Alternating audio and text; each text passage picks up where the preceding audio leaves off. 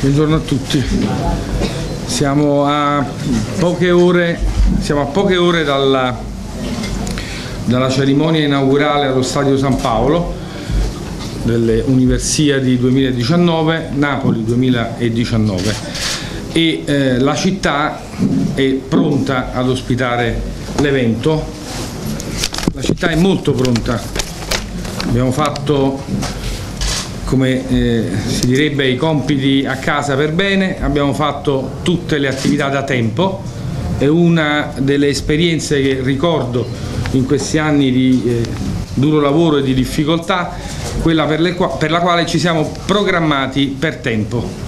Io, chi mi conosce, eh, sindaco in testa, sa che eh, uso ricordare la non coniugazione di due verbi a Napoli, il verbo pianificare e il verbo programmare. E invece incredibilmente questa, eh, questa esperienza delle Universiadi eh, sono, eh, rappresenta diciamo, una, eh, un caso eh, eccellente di scuola in cui siamo riusciti a programmare e a pianificare per tempo tutte le attività. Però stamattina vorrei, con il permesso del Sindaco, ricordare che la vera nostra sfida l'abbiamo già vinta in tutto.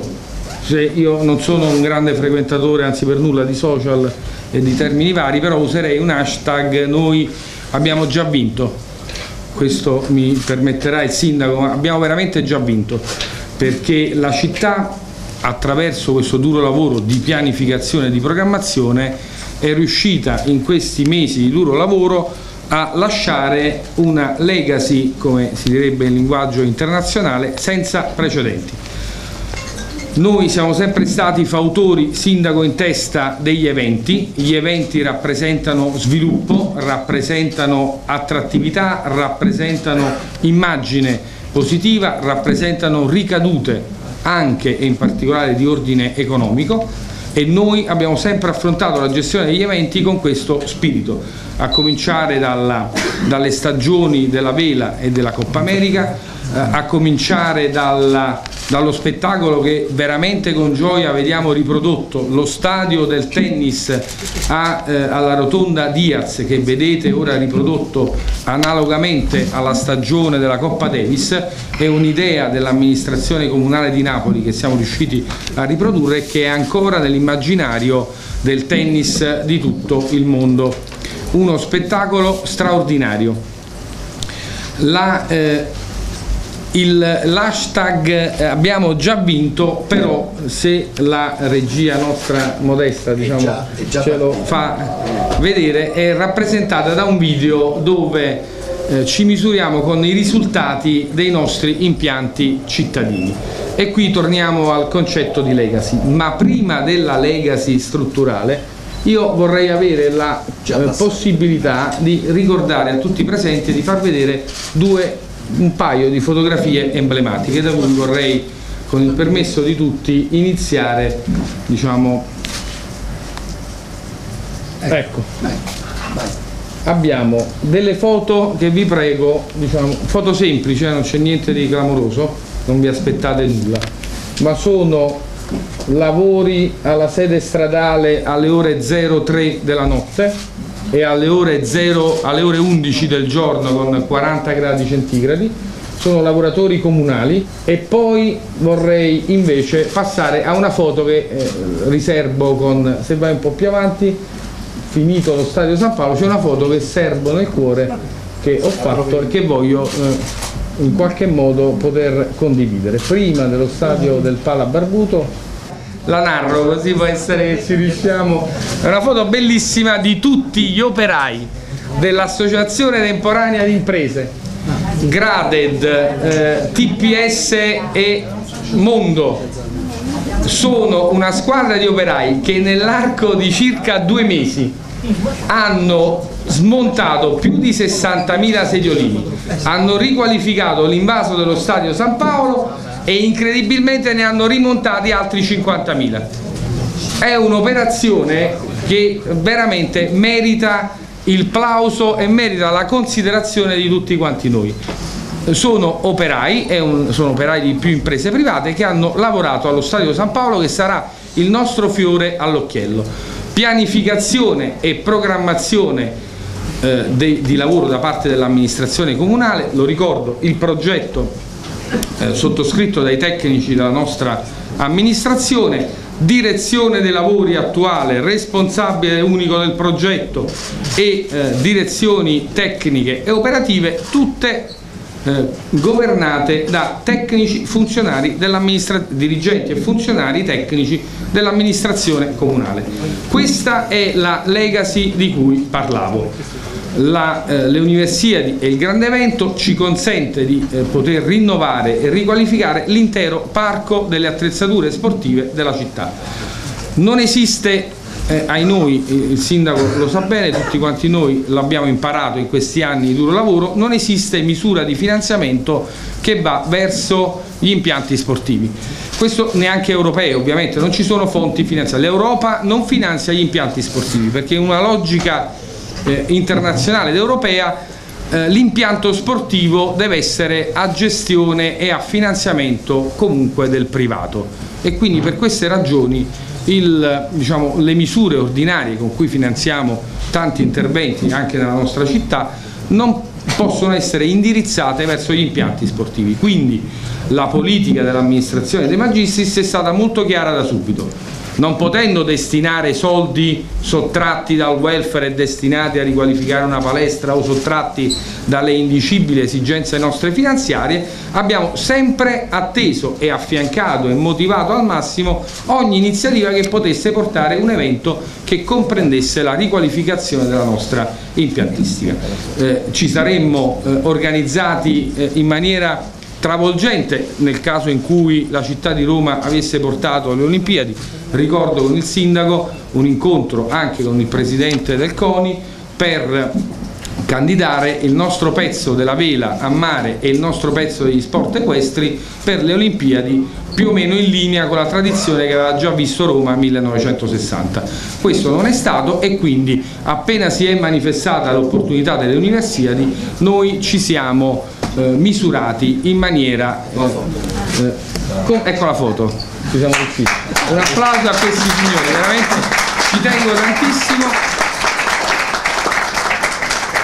perché in in pochi mesi neanche perché vi ricordo e qui ci sono molti giornalisti che ne hanno fatto tutto, la versione tutto il calcio minuto per minuto dopo la partita Napoli-Inter abbiamo finanche fatto svolgere regolarmente la partita Napoli-Inter e poi da quella data abbiamo ribaltato lo stadio San Paolo come un calzino 60.000 sediolini via riqualificazione dell'invaso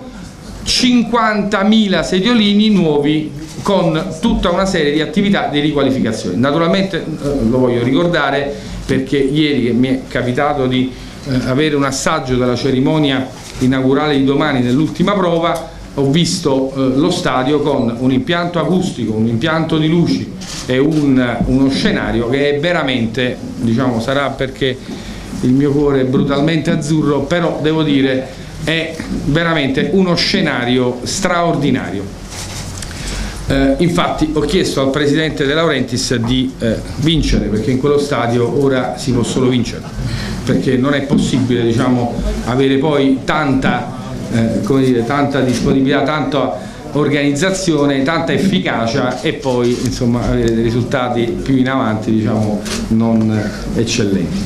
Eh, detto questo quindi la legacy è fatta di impianti che la città avrà completamente riqualificato. Ci concentriamo ovviamente tutti quanti sullo stadio San Paolo dove sono stati investiti 27 milioni di euro nella sua complessità questo alla presenza del sindaco lo voglio ricordare perché molte volte anche molti giornalisti qui presenti hanno ricordato la polemica del noi dovevamo riqualificarlo ma oggi con tutta questa presenza eh, mediatica ma voglio dire ma potevamo mai noi scegliere tra fare un mutuo di 25 milioni a carico dei cittadini napoletani e invece andare verso il finanziamento delle università?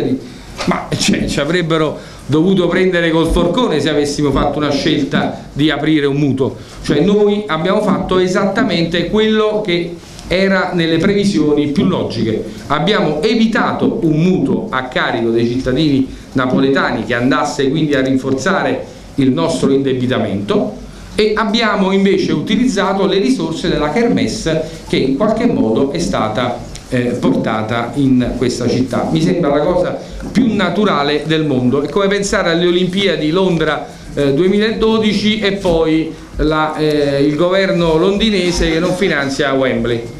cosa che è ovviamente accaduta così come in qualsiasi altra eh, kermesse di questa portata.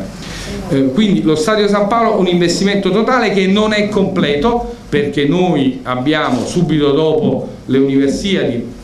completeremo la parte dello spogliatoio eh, la parte delle, ehm, del, degli spogliatoi e delle palestre sottostanti quindi riqualifiche, riqualificheremo anche quello, quello, spazio. Avremo altri interventi completeremo la riqualificazione dei bagni lo stadio sarà perfettamente a norma come bagni disabili bagni eh, dei, eh, a disposizione eh, dei fruitori dell'impianto e eh, nelle migliori condizioni. Come abbiamo più volte ribadito, lo stadio sarà portato a livelli di assoluta eh, fruibilità in linea con gli standard europei.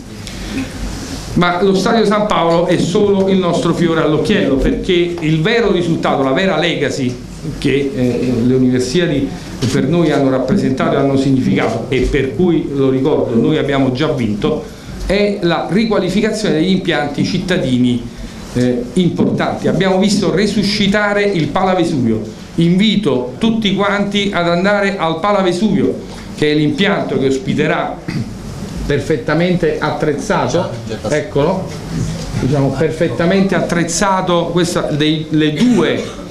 i due impianti del Palavesuvio perfettamente attrezzati per l'occasione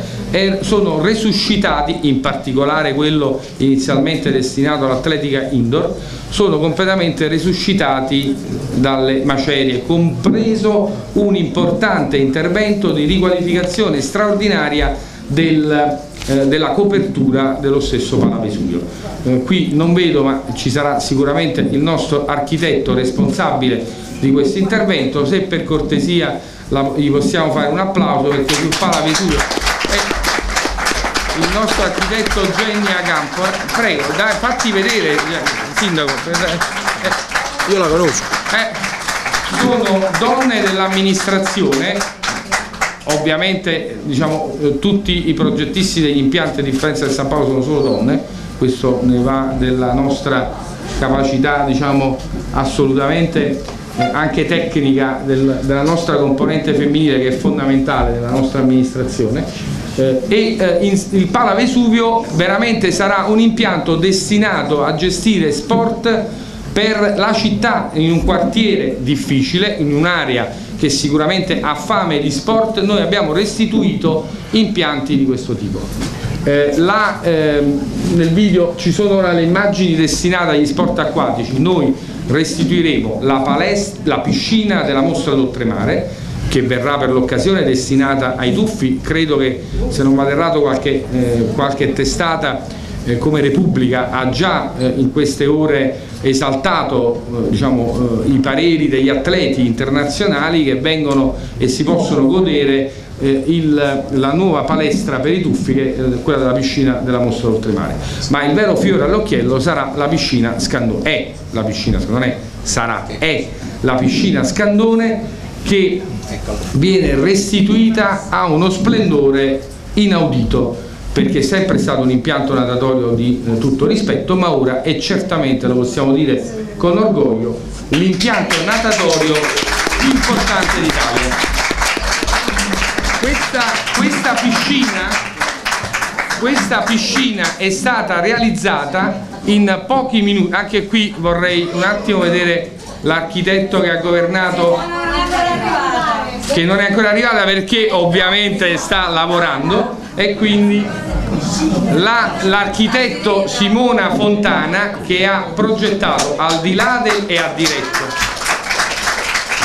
al di là del, dei lavori della piscina Scandone. Fantastici, compresi i lavori dei giochi di luce e di intrattenimento che hanno consentito eh, alla piscina Scandone di essere poi individuata dall'organizzatore della Champions del nuoto eh, come sede per la eh, Kermesse italiana che verrà, eh, verrà eh, effettuata nel mese di ottobre di quest'anno. Quindi la Scandone sarà sugli scudi ancora una volta per la Coppa Campioni planetaria del nuoto ad ottobre anche con giochi di luce, un'attrattiva, uno spettacolo unico, ma il fiore all'occhiello è la progettazione di quella piscina per il warm up che è una, una realizzazione ex novo, quindi è stata realizzata in tempi straordinariamente record. È la piscina che serve per rendere la Scandone a questo punto definitivamente il più importante impianto natatorio italiano pubblico perché il warm up chiaramente consente diciamo, agonisticamente di sviluppare una serie di, eh, di gare e di essere eh, competitiva agonisticamente appunto. La, eh, infine voglio ricordare, eh, al, il, abbiamo restituito alla città un impianto gioiello come il Pala Barbuto con cui abbiamo combattuto in questi anni per avere 100 posti, 150 posti, abbiamo eh, fatto fatiche di Sisifo per far giocare con la compatibilità, l'agibilità, i vigili del fuoco più di 100, ora è un impianto perfettamente rinnovato, ospiterà le discipline degli sport come la pallacanestro e, eh, e, poi verrà destinata per questo uso, quindi restituiremo alla città nelle more della riqualificazione e della realizzazione che l'amministrazione sta governando del nuovo Palo d'Argento, perché anche questo è un obiettivo eh, che l'amministrazione si prefigge, eh, nelle more eh, il Palabarbuto sarà l'impianto diciamo, di eh, eh, pallacanestro di, di, sport di squadra indoor più importante della città eh, accanto al Pala Barbuto e al Pala Vesuvio e alle piscine e allo Stadio San Paolo che abbiamo ricordato, ci tengo perché la legacy è fatta anche ed esclusivamente di quello che resta alla città. Eh, la legacy che abbiamo prodotto è la riqualificazione degli impianti di calcio cittadini delle periferie dotati di spogliatoi, di luci dalla Scarelli, dal, dai caduti di Brema eh, sono tutti impianti che vengono eh, eh, riqualificati per l'occasione. Naturalmente aggiungiamo il Virgiliano come campo riqualificato eh, e diciamo eh, tutta una serie di impianti anche lo stadio Collana che seppur non è di proprietà dell'amministrazione comunale però è un impianto pubblico su cui ci siamo battuti per avere eh, sindaco in testa una riqualificazione anche per l'occasione e eh, anche altri impianti come lo ricordo anche è stato un impegno nostro all'interno della dell'agenzia regionale il campo di rugby recentemente riqualificato all'interno della struttura dell'ex collegio Ciano che è un altro risultato per noi molto importante anelato dalla federazione italiana rugby da tempo in sostanza e in soldoni la Legacy ha prodotto circa 70 milioni di euro che noi abbiamo eh, realmente impiegato e speso per le esigenze delle attrezzature sportive della città. Questa è la legacy, questa è l'eredità,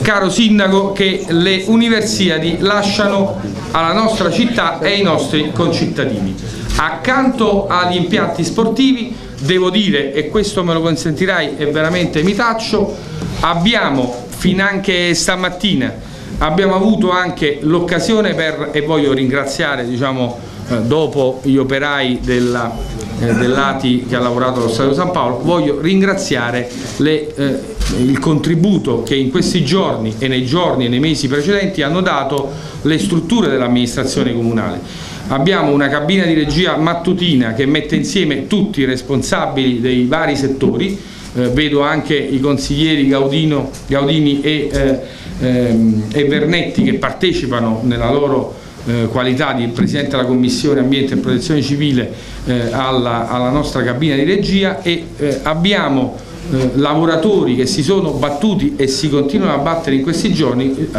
ai quali io devo necessariamente eh, dare tutto il mio plauso e se eh, mi consentite anche tutto il mio orgoglio per l'appartenenza. È gente che sta lavorando a 40 gradi Fahrenheit direi quasi sta lavorando di giorno e di notte sta lavorando sulle ordinarie disfunzioni di una grande città complessa come la nostra, eh, tagliando dal ciuffo d'erba alla polizia, CEASIA, Napoli Servizi, le, eh, ovviamente per la Kermesse le pulizie degli impianti sono a carico dell'amministrazione comunale, dentro con la Napoli Servizi e fuori con la nostra SIA. Eh, abbiamo a terra LSU che ringrazio particolarmente, la cooperativa 25 giugno, Napoli Servizi per le pulizie, Napoli Servizi per i PIS, abbiamo eh, diciamo, curato tutto anche con il servizio strade che ovviamente devo particolarmente ringraziare perché non ci dimentichiamo che tra le cose della Legacy che lasciamo abbiamo fatto oltre 8 km di strade centrali in due mesi, anche questo diciamo, è un altro tema che dobbiamo ricordare, abbiamo sofferto in particolare su quello che io ho chiamato il triangolo delle Bermude di eh, Marchese Capodisola, De Gasperi e De Pretis, però abbiamo lasciato un triangolo decisivo per la nostra viabilità che la ricordo è tra le più complesse, sono due strade, Via Marina e eh, Corso Vittorio Emanuele, non c'è altro, e eh, tecnicamente abbiamo riqualificato per l'occasione, abbiamo eh, riaperto anche il nodo scorsoio lo ricordo perché vedo che traspare Luigi Roano che il mattino ce l'ha ricordato come un, eh, diciamo, un anatema negli ultimi eh, due anni, abbiamo anche eliminato e tagliato definitivamente il nodo scorsoio di Via Marina e quindi anche Via Marina per l'occasione è aperta e funzionale. Quindi un ringraziamento veramente agli uomini, alle donne e agli uomini dell'amministrazione comunale che si battono ogni giorno per offrire alle migliaia di eh, cittadini del mondo eh, miglior, la migliore condizione e la migliore accoglienza della nostra città. Grazie.